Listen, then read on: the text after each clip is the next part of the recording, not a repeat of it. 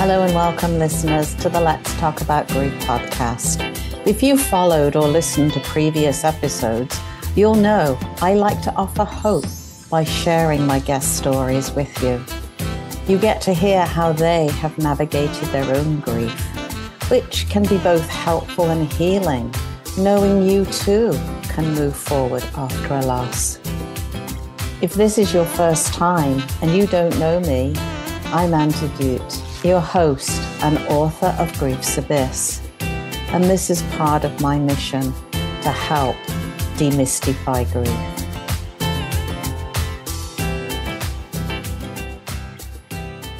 Hello and welcome to our show today, listeners. This is Anne, your host.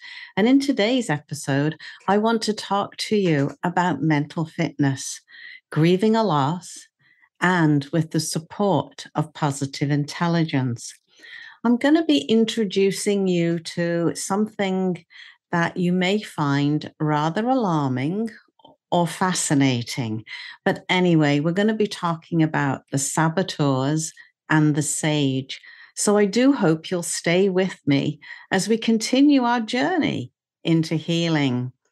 Before I do, I'd like to acknowledge listeners. If you've been with me on this journey for a while, I want to thank you for being with me. I love reading your comments and reviews and hope that we will continue to be together. We know just how lone our grief can have us feel. And by having these conversations, I hope you'll begin to see and feel a little less alone. You will also know that I'm passionate about learning. And I've had the privilege of learning from our guests and hearing their stories as they have shared their hows. Hopefully, you too have gained some tips and support and discovered ways that you too can navigate your own loss and your grief.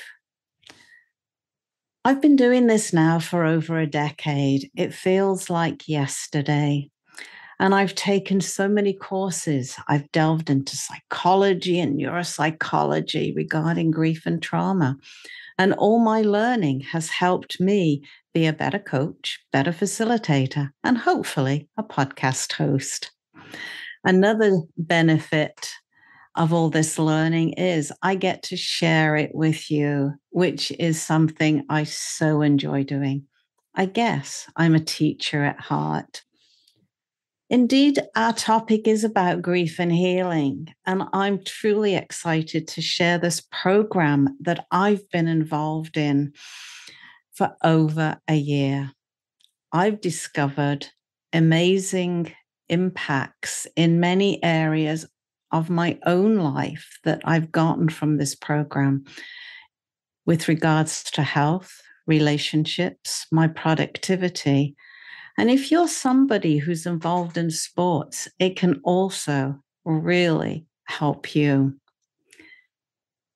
Hopefully, you too, by the end, will see all the benefits as I explain what the heck it is and more about these saboteurs and how they actually affect our healing.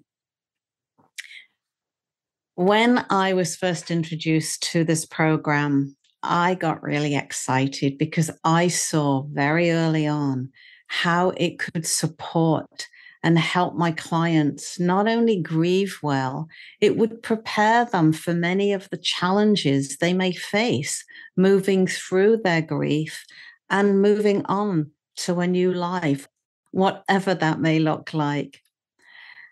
It also answered one of my questions that took me on this quest all those years ago is why some people get caught in their grief for way longer that they miss out on their lives.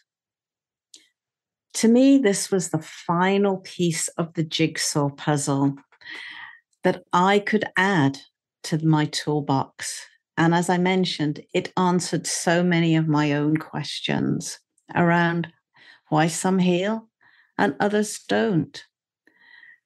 I was actually told this when I was going uh, on my own grief journey that you don't get over your grief, you never heal. Well, I'm sorry. I have a nursing background and I have seen way too many amazing things occur with the patients that I nursed. And I thought, if grief is normal and natural, can we not heal our hearts? And as I mentioned before, this began my journey of discovery. And as you know, I love sharing it with you. When you hear what I'm about to share, it's my sincere hope that it will open you up to new ideas and potential possibilities, especially if you're grieving. So, before I begin, what do I mean about mental fitness? Let me explain by using this analogy. Many of us are into fitness these days. It seems to be a buzzword. Whether you are or not, I'm certain you'll get what I'm about to say. Imagine your mental fitness as a skill to climb hills of life's challenges. You may be able to handle medium level challenges with a decent amount of stress. However, when a death occurs, it's like facing a mountain of challenges. This loss can understandably leave you feeling overwhelmed and stressed. And it's important to acknowledge that that's okay. No one has taught us how to navigate such immense challenges. Instead of blaming ourselves, let's consider that the mountain may be too big for us to handle right now. That's why we often say when you're grieving a loss, it's good to have support. Discovering ways to enhance your mental fitness begins with cultivating awareness, recognizing and strengthening your mental fitness muscles. How do you do that? Well, this program that I'm about to share with you positive intelligence, it offers valuable tools to guide individuals through the grieving process, empowering them to navigate those difficult times with so much more compassion and resilience. Grief, I'm certain we can all agree, is intensely personal experience. And we don't underestimate the difficulty you can go through to navigate it. Whether you've lost a loved one, a relationship, a job, or a dream, the process of grieving can be overwhelming. And we know grieving is just plain hard work. You've possibly also recognized that time doesn't heal either. There are so many misconceptions, myths, and beliefs you may have.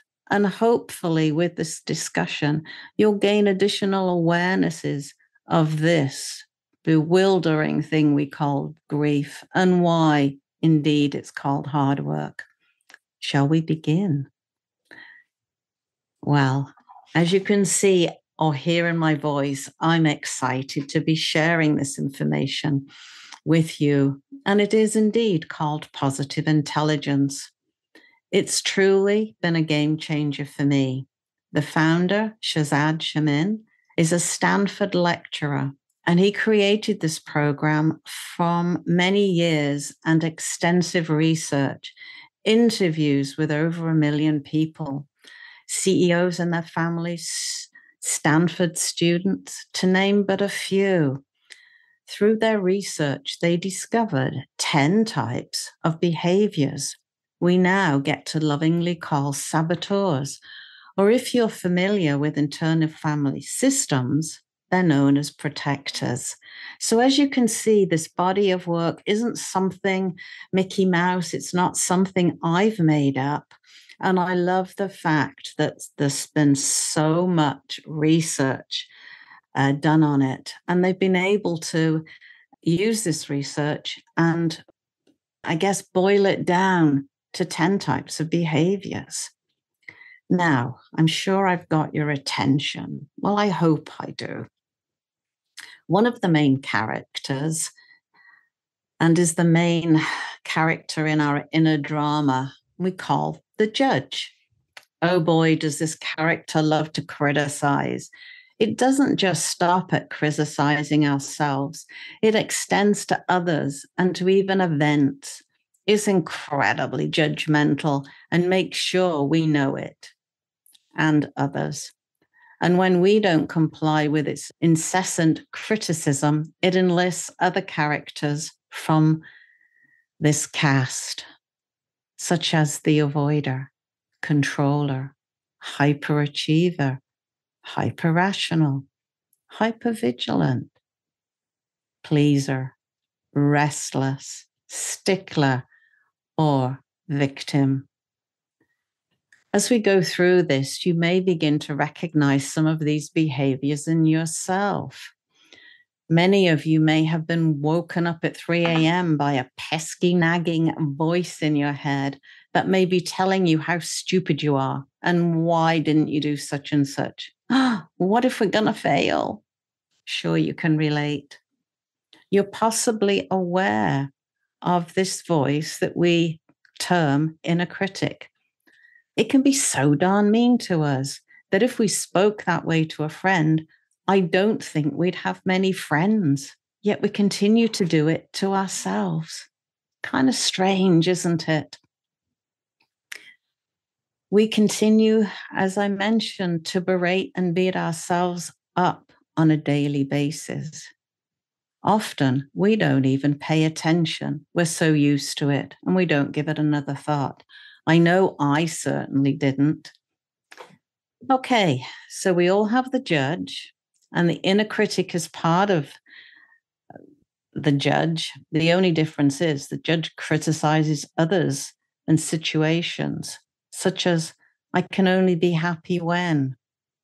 I can only be happy when I stop grieving. I can never be happy. The person I loved has died. Then the judge teams up with our other saboteurs, as I mentioned. We often have about three that we rely on, and they're usually ready to support him. Positive Intelligence has a free quiz in case you're curious. You can take it and discover what's behind some of your saboteur behaviors. According to my results, I'm going to share. You're going to love this. They are the avoider, the people pleaser, and restless. These characters can create such angst. Once I became aware of how they operated, I say it was eye opening. It explained so much. Why do I have so much angst? when I'm about to record a podcast, for instance? Why do I take on so much? Well, the avoider, I can tell you, I hate conflict and will do my best to avoid it in the hopes that it'll just disappear. But we know that's not the case. Anyway, more on that later. As a pleaser, I could constantly give and give and give, totally neglecting my own self care and my needs as I take care of others and please them first. And understanding the restless, oh my goodness, this gave me so much clarity why I have a problem completing things I have what's called bright, shiny object syndrome. Many of you may be aware of it within yourself. Oh, squirrel. Oh, oh, this. Oh, let's do that now. There's a reason for it. We often feel very uncomfortable with the emotion that we're experiencing. I know a grief coach admitting to that. It's one of these lifelong journeys. And I'm sure you'll have more insights as we go along. So, if you're anxious to discover yours, I promise I will provide the link later on so that you can take the quiz. It only takes five minutes. And I hope you will find it as enlightening and it may help you to understand yourself a little more. Before I go on, though, I just want to share with you if you're thinking, oh, this is completely hokey, I'm going to stop listening to her right now. I would ask you to wait and discover if this is your hyper rational talking or your controller. Hmm, interesting, eh? Bear with me, please. But wait, there's a lot more to this story. Alongside the saboteurs, we have the sage. This is the part of us that's been with us since birth. This is our authentic self. It's a pure being before the world got its claws or grips into us.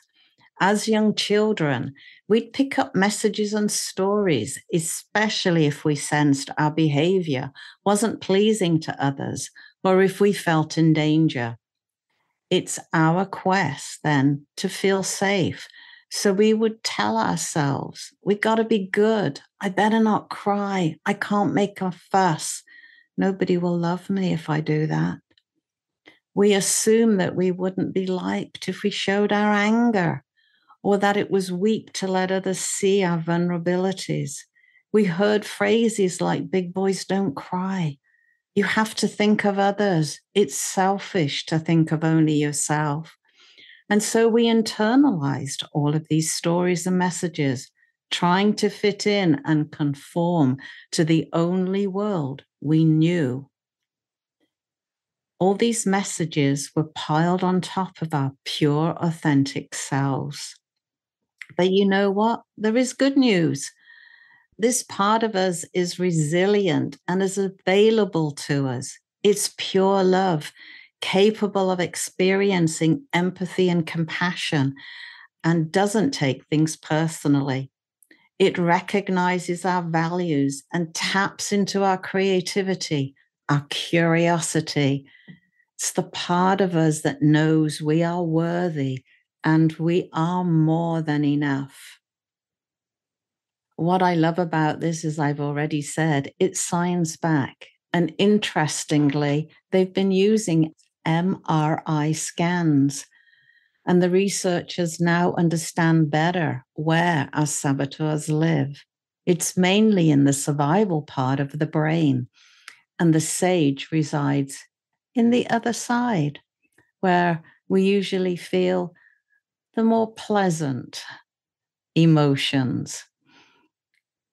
The research data is also borne out and can be found in many areas of positive psychology, neuropsychology, sports psychology, or cognitive behavior therapy. For anyone that's interested in diving deeper into all of what I'm saying. Now, if you're grieving, why would this be of interest to you?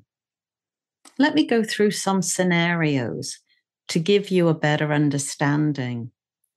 The most interesting part was when I learned that grief is about honoring and loving the person. And we're certainly not dishonoring them if we feel joy or happiness during our grieving moments or if we notice our pain has subsided, or we're not thinking of them as often. If we're in pain, that is often where our fears live. Any negative emotions is usually one or more of our saboteurs lurking. Of course, when you're in the midst of grieving, it is extremely painful overwhelming, and it can feel you leaving helpless and hopeless. You may long for the person you've lost or yearn to get back to the life as you knew it. With everything happening, it can understandably have you feel a victim in a way. And indeed, you are. When you think about it, you've been robbed. And this isn't something you asked for or wanted. It's natural that you'd want to throw a frustrated child temper tantrum. You have every right. And I'm not negating your feelings. I truly get it. These initial feelings are completely normal if you're just beginning your grief journey. You may find that these intense emotions gradually subside, only to regain a little later. However, for many of us, we've noticed the intensity lessens. And I like to think of our emotions serving us as guideposts, guiding us on this journey. But that's a bigger discussion for another day. Okay, let's get back to our victim mode. You may be waiting to, to be rescued. You feel helpless or hopeless. You may begin to feel very alone and believe that you're the only one feeling this way and that no one understands what it's like.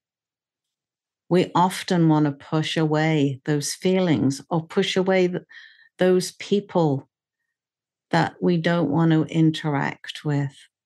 Why? Why bother reaching out? They don't understand. No one cares, you may be telling yourself. Or you may be finding yourself telling yourself stories as a way to blame or shame yourself or even others. You probably are familiar with this. If only I hadn't left the room to get a coffee. If only I'd have done this or known sooner. I could have done fill in the blanks. My loved one would still be here. If I hadn't have been so selfish, I could have seen them more. I didn't even get to say goodbye. So we begin judging ourselves, others, or even a higher power. This is the saboteur judge at its best. And it shares with us these stories that can keep us ruminating and keeping us stuck in those feelings as we're attempting to find our way out or to find answers.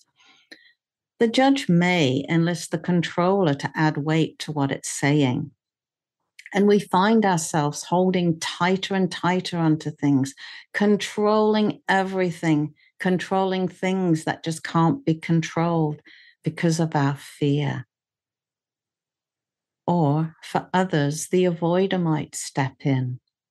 I don't want to be told I'm not grieving right. I don't want to feel this way. I'm just not going to deal with it. I'm, I know I'll just keep myself busy. This isn't a good time for me to grieve. So you push the thoughts and feelings down as they arise. You, in essence, avoid dealing with them or you feel you'll bring others down if you allow others to see you crying.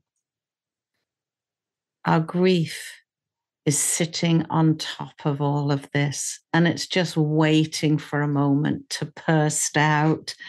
And it will do so at the most inopportune moment. You may even have experienced this you may find yourself in a flood of tears, unable to control them. This is what you've been dreading and you knew was going to happen. The controller in us has a field day and comes alive, telling us more stories about how we've messed up and spoiled things for others, including ourselves giving us more opportunity for the avoider to not want to be dealing with any of this grief. The avoider may see, I'm just going to keep doing. I'm just going to get busy again, and this won't happen. The grief indeed will begin to surface. You discover the restless saboteur has entered. The restless doesn't like to feel emotions and does what it can to move away, find something else, a distraction, Go make a cup of tea.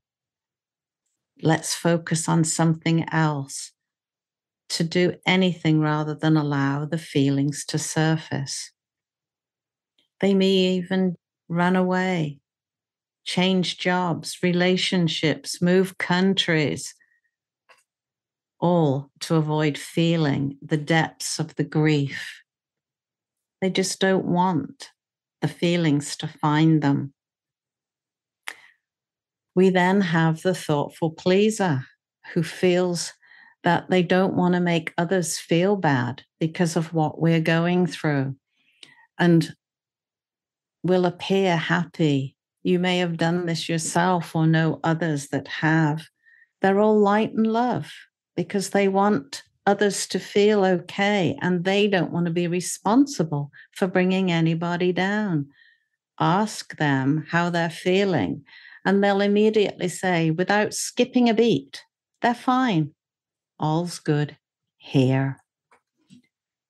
Then we have the hyper-vigilant, who is always alerted and on guard. They've been caught out this happened and they don't want it happening again. It could happen to them. It could happen to any more of their loved ones. So they continually scan the environment for danger or for whatever disaster may befall them. They become even more fearful, full of stress, on high alert. And so they are exhausted constantly because of it. I did allude to the hyper rational. It's a very interesting one. They may decide what's the problem? We don't need all the emotions. We can figure it out. We know what we need to do. So let's get to work. We'll just make a list of everything that's required. I've got this. I can figure it out we know from the research that very often the hyper rational is isn't in touch with their emotions. And as we know grief is all about emotions and much more. It affects our whole body. So when we find ourselves in the grips of grief it can inadvertently lead us to push away our pain and those who wish to support us. So we isolate, we feel alone. However, it's crucial to remember grieving alone isn't recommended. You know, we're tribal beings. We long for connection, the need to be seen and heard, and surrounded by individuals who understand. That's what many of us are craving. We may not realize it, but it is. This is where support groups, grief coaches, therapists can provide invaluable guidance until you regain your footing once more. Now that you have a clearer understanding of how the saboteurs operate, let's transition into the domain of the sage. The sage represents that empathetic and compassionate part of ourselves, the one that extends kindness not only to others, but also to our own grieving hearts. In sage mode, we develop more compassion towards ourselves and our emotions. We allow ourselves to be vulnerable and messy, demonstrating to others how to be present during the overwhelming pain of grieving. We grant ourselves permission to experience all the emotions without the fear of being trapped in perpetual sorrow. We dismiss the judgment that feelings, moments of happiness negate, the love. We dismiss the judgments that have us feeling those moments of happiness that we often feel negates the love we had for those we lost. We understand that joy is acceptable and that others' expectations of how we should appear doesn't define our grieving process. We no longer concern ourselves with questions like, why aren't you over it yet? Shouldn't you be better by now? Instead, the focus is on healing at our own pace, embracing the wisdom of grief along the way. Our truth lies within the sage, while the saboteurs weave stories around us. Though it may sound peculiar, rest assured we don't have a split personality. These facets emerged in our childhood. Their aim was to keep us safe. When we identify the presence of the saboteurs, we can catch ourselves recounting tales of self blame, guilt, and shame. It's deceiving to think we control these emotions, for in reality, we cannot. Grief, even when we believe otherwise, remains beyond our influence. Grief is truly a testament to love and a path to honor. It's in the pain that fear takes its root. I'm certain you're discovering the benefits of knowing all this and you're beginning to see how these behaviors can actually hinder your healing. I, for one, recognize the need to be and sit with your grief. It is an important function. And I recommend it to my clients as I introduce bits and pieces of this work to them. If you've been grieving for a while and are at the stage where you're wondering what's next, then this is a great time to be learning. You now have more brain capacity. This program would be a benefit to you in helping you build your mental muscles, which would allow you to navigate the world, which we know is stressful at the best of times. You would have new awareness and you would find your stress is lessening. Okay, I promised to give you the link so that you could discover for yourself and take the quiz. It's positive intelligence slash saboteurs.com. And once you take the quiz, you'll be given a, a, detailed description of the saboteurs that may be lurking for you. And if you're interested in incorporating positive intelligence on your healing journey, or even considering it more, I would invite you to deepen your understanding and how you too can utilize the saboteurs and sage perspective so that you can fortify your emotional intelligence and regain control of your mindset. I'd like you then to connect for a complimentary call. Simply visit my website and click on the button to access my calendar, where you'll find a convenient date and time. I promise there's no selling. I just want to serve. I want you to see how learning this program can be of benefit to you. And if you don't agree with it, that's totally okay. Again, no pressure. I'm purely giving you this information to add to the toolbox as you continue your grieving journey. I'm Anne. Bye bye for now. Well, listeners, that indeed is a wrap. Be sure to follow us by clicking on the link, and you'll be the first to know when a new episode drops. And if you are feeling inspired, please leave a review. And if you are indeed grieving, please know you don't have to feel alone in your grief, but reach out. As a coach, I'm more than happy to chat with you on how coaching can both support you in your chaos and pain without forcing you to endure your grief stricken world. You can contact me at anne at understandinggrief or you can visit my website at Understanding Grief. I'm Anne. Bye bye for now.